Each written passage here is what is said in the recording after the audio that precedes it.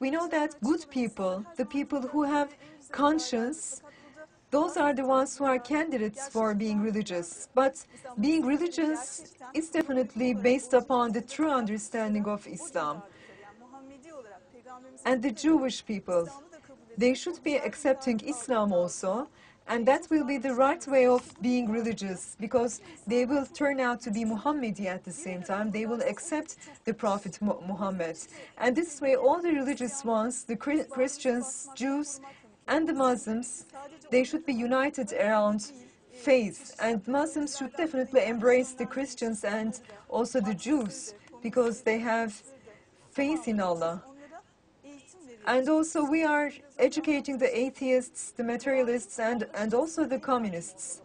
And religion should be prevailing in all aspects of the world. And because they are not aware of this, they are running after other ideologies. And the Christians and the Jews, maybe they have not been able to exist together in different aspects of social life. Maybe there are some people working for this, but they are not really understanding why they should be together. Because if a person has Jewish belief, he thinks that he should be opposing Islam or a Jewish person thinks that he should not be accepting the prophet Jesus as a prophet. However, rights start from the creation of the prophet Adam, all religions are revealed by Allah.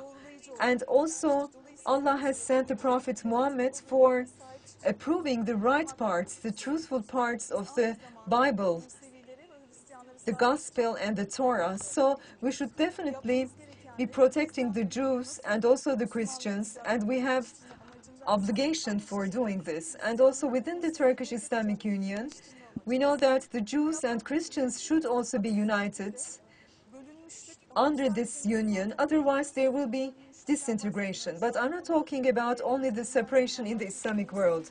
I'm also mentioning about the other divine religions, which is Judaism and also Christianity, because I can see that they are also separated. All this separation should be removed.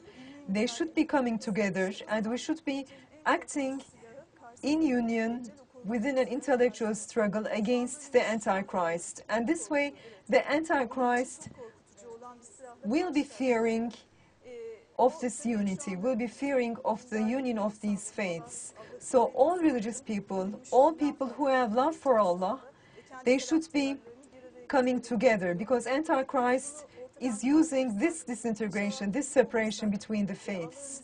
So if we come together, if we act in union, if we become one, then this will be the right way of intellectual struggle against the Antichrist. We are at a time in the month of Ramadan, which will be really providing fear in the hearts of the Antichrist, in the supporters of Antichrist. We should pray greatly and also we should show efforts greatly, inshallah, with the purpose to save people who are under oppression, who are under violence.